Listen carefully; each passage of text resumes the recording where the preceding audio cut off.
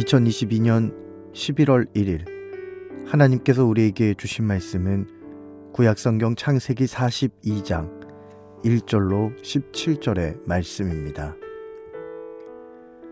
그때의 야곱이 애굽에 곡식이 있음을 보고 아들들에게 이르되 너희는 어찌하여 서로 바라보고만 있느냐 야곱이 또 이르되 내가 들은즉 저 애굽에 곡식이 있다 하니 너희는 그리로 가서 거기서 우리를 위하여 사오라 그러면 우리가 살고 죽지 아니하리라 하매 요셉의 형 열 사람이 애굽에서 곡식을 사려고 내려갔으나 야곱이 요셉의 아우 베냐민은 그의 형들과 함께 보내지 아니하였으니 이는 그의 생각에 재난이 그에게 미칠까 두려워함이었더라. 이스라엘의 아들들이 양식을 사러 간 자 중에 있으니 가나안 땅에 기근이 있음이라. 때에 요셉이 나라의 총리로서 그 땅 모든 백성에게 곡식을 팔더니 요셉의 형들이 와서 그 앞에서 땅에 엎드려 절함에 요셉이 보고 형들인 줄을 아나 모른 채 하고 엄한 소리로 그들에게 말하여 이르되 너희가 어디서 왔느냐 그들이 이르되 곡물을 사려고 가나안에서 왔나이다 요셉은 그의 형들을 알아보았으나 그들은 요셉을 알아보지 못하더라. 요셉이 그들에게 대하여 꾼 꿈을 생각하고 그들에게 이르되 너희는 정탐꾼들이라. 이 나라의 틈을 엿보려고 왔느니라. 그들이 그에게 이르되 내 주여 아니니이다. 당신의 종들은 곡물을 사러 왔나이다. 우리는 다 한 사람의 아들들로서 확실한 자들이니 당신의 종들은 정탐꾼이 아니니이다 요셉이 그들에게 이르되 아니라 너희가 이 나라의 틈을 엿보러 왔느니라 그들이 이르되 당신의 종 우리들은 열두 형제로서 가나안 땅 한 사람의 아들들이라 막내 아들은 오늘 아버지와 함께 있고 또 하나는 없어졌나이다. 요셉이 그들에게 이르되 내가 너희에게 이르기를 너희는 정탐꾼들이라 한 말이 이것이니라. 너희는 이같이 하여 너희 진실함을 증명할 것이라. 바로의 생명으로 맹세하노니 너희 막내 아우가 여기 오지 아니하면 너희가 여기서 나가지 못하리라. 너희 중 하나를 보내어 너희 아우를 데려오게 하고 너희는 갇혀 있으라. 내가 너희의 말을 시험하여 너희 중에 진실이 있는지 보리라. 바로의 생명으로 맹세하노니 그리하지 아니하면 너희는 과연 정탐꾼이니라 하고 그들을 다 함께 3일을 가두었더라. 하나님께서 오늘 우리에게 주신 말씀 구약성경 창세기 42장 1절로 17절의 말씀을 중심으로 요셉에게 주신 꿈을 그대로 이루신 하나님이라는 제목으로 주신 은혜 말씀을 함께 나누겠습니다. 하나님께서는 창세기 37장에서 요셉에게 두 가지 꿈을 꾸게 하셨습니다. 첫째는 곡식단을 묶었는데 요셉의 곡식단은 일어나고 나머지 곡식단은 엎드려 절했다는 겁니다. 둘째는 해와 달과 열한 별이 요셉을 향해 절했다는 꿈입니다. 당시만 해도 요셉도 그 누구도 이 꿈의 뜻을 그리고 이 꿈이 어떻게 이루어질지 아무도 알지 못했습니다.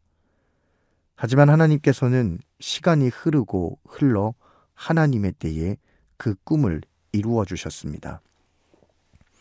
특별히 오늘 본문은 요셉이 꾸었던 첫 번째 꿈의 성취를 그대로 보여주고 있습니다.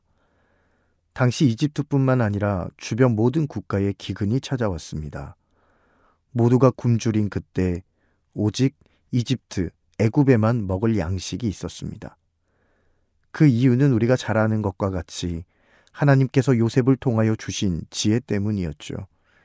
7년 동안 풍년이 있고 그 후에 7년 동안 기근이 찾아옴을 알고 요셉이 잘 준비한 겁니다. 하지만 요셉의 가족이 살고 있던 가나안 땅은 당장 먹을 양식이 없었습니다. 이것을 오늘 본문 1절과 2절은 이렇게 표현합니다. 야곱이 그의 아들들에게 말하지요. 애굽에 곡식이 있으니 가서 가져오너라. 너희는 어떻게 이것을 보고만 있느냐? 너희가 가지고 오면 우리가 굶지 않겠다라고 말합니다. 야곱이 거주하던 땅은 애굽으로 가는 상인들이 지나가는 길이었기에 애굽에 대한 정보를 얻을 수 있었습니다. 그러나 그의 아들들은 여전히 무관심이었고 세상 물정에 대해 아무것도 알지 못했습니다. 야곱의 아들들은 아버지의 명령을 받고 곡식을 얻기 위해 애굽으로 출발합니다. 물론 아버지의 반대로 베냐민은 동행할 수 없었습니다. 왜냐하면 야곱이 가장 사랑했던 두 아들 중 요셉을 잃고 마지막 남은 사랑하는 아들 베냐민이었기에 절대 허락할 수 없었습니다. 드디어 야곱의 아들들이 애굽에 도착했지요. 그리고 요셉을 보고 절합니다. 6절 말씀은 이렇게 표현합니다. 때에 요셉이 나라의 총리로서 그 땅 모든 백성에게 곡식을 팔더니 요셉의 형들이 와서 그 앞에서 땅에 엎드려 절함에 놀랍게도 하나님께서는 요셉이 꾸었던 요셉에게 꾸게 하셨던 요셉에게 보여주셨던 꿈을 그대로 이루어 주셨습니다. 그렇다면 요셉은 어떻게 하나님의 꿈을 성취하는 기쁨을 맛보게 되었을까요? 이유는 하나입니다. 바로 요셉은 정직함으로 성실하게 살았기 때문입니다. 요셉의 삶을 전체적으로 돌이켜 보십시오. 그는 단 한 번도 거짓으로 살아본 적이 없습니다.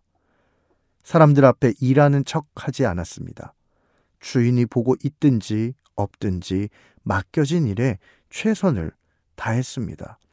심지어 보디발 장군의 아내가 그를 유혹할 때도 아무도 보지 않았음에도 불구하고 그는 하나님 앞에 죄를 범할 수 없다며 그 자리를 박차고 나갔던 사람이었습니다. 6절 말씀에 요셉을 총리로 표현하고 있지요. 총리 정도 되면 그 자리에 없어도 됩니다. 아랫사람들에게 일하도록 지시하고 다른 곳에서 혼자 즐겁게 즐기며 지낼 수 있습니다. 그러나 요셉은 그렇게 하지 않았죠. 자신에게 맡겨진 자리에서 정직하게 일을 감당했습니다. 만약 요셉이 요령을 피우고 거짓으로 살았다면 형들이 곡식을 사러 왔을 당시 그곳에 있지 않았겠지요. 그러면 그 꿈 또한 이루어지지 않게 되는 겁니다. 성경에는 이와 같이 하나님의 꿈을 하나님의 계획이 성취되는 기쁨을 맛본 사람들이 많습니다. 대표적으로 다윗이 있죠. 다윗은 늘 성실했습니다. 그는 아버지에게도 인정받지 못한 막내 아들로서 늘 들에서 양을 쳤습니다. 아버지가 보지 않는다고 맡겨주신 양을 대충 돌보지 않았습니다. 목숨 걸고 위기가 찾아와도 양을 지켰습니다. 그 결과 그의 일상에서 성실함으로 다져진 물맷돌이 골리앗을 쓰러뜨렸습니다. 모세는 어떻습니까? 그는 이스라엘 백성을 인도해내기 전 광야에서 목동일을 하며 양들을 돌보았습니다. 양들에게 먹을 꼴을 찾기 위해 이곳 저곳 광야를 돌아다녔습니다. 성실하고 정직하게 일했던 모세는 광야에서 살아가는 법, 광야에서 길을 잃지 않는 법 등을 익히게 되었고 40년이라는 세월 동안 이스라엘 백성들의 지도자가 되었습니다. 하나님의 꿈은 꿈만 꾼다고 이루어지지 않습니다.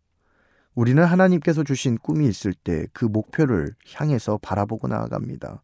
목표만 바라보고 나아가는 거죠. 오늘은 내가 이만큼 했네. 내일은 이만큼 할까? 오늘 이 정도 많이 했으니까 내일은 조금만 할까? 이러면서 하나님의 꿈이 성취되는 것만을 생각하는 하나님께서 주신 꿈을 목표로만 바라보고 달려가는 삶은 하나님의 꿈이 성취되는 기쁨을 누리지 못합니다. 하지만 매일매일 하루하루 주어진 삶에 주어진 일에 최선을 다해 정직하게 걸어가다 보면 자신도 모르게 하나님께서 꿈을 이루어 주시는 것을 보게 됩니다. 요셉은 전혀 예상하지 못했습니다. 그는 그냥 총리로서 일을 감당했을 뿐인데 하나님께서 그에게 그런 은혜를 주셨습니다. 우리의 삶에서 항상 큰 것만 바라보고 나의 큰 야망만 생각하고 살아가면 우리는 결코 하나님의 꿈이 성취되는 것을 보지 못합니다. 하나님께서 보여주신 꿈을 이루어 주시려고 해도 우리가 자꾸 그 계획을 망가뜨리게 되죠. 하지만 작은 것에 충성하고 작은 것에 정직하고 사람들이 신경 쓰지 않는 것에도 최선을 다하는 그 모습을 우리 하나님께서는 보고 계십니다. 우리의 삶이 요셉과 같이 정직함으로 성실함으로 살아가며 하나님의 꿈이 성취되는 기쁨을 맛볼 수 있는 저와 여러분이 될 수 있기를 주님의 이름으로 축복합니다. 기도하겠습니다. 오늘도 우리에게 은혜를 주시는 하나님 아버지, 주님의 은혜로 우리를 붙잡아 주시고 선물로 주신 이 하루를 성실함으로 정직함으로 살아가게 하옵소서. 예수님의 이름으로 간절히 기도하옵나이다. 아멘.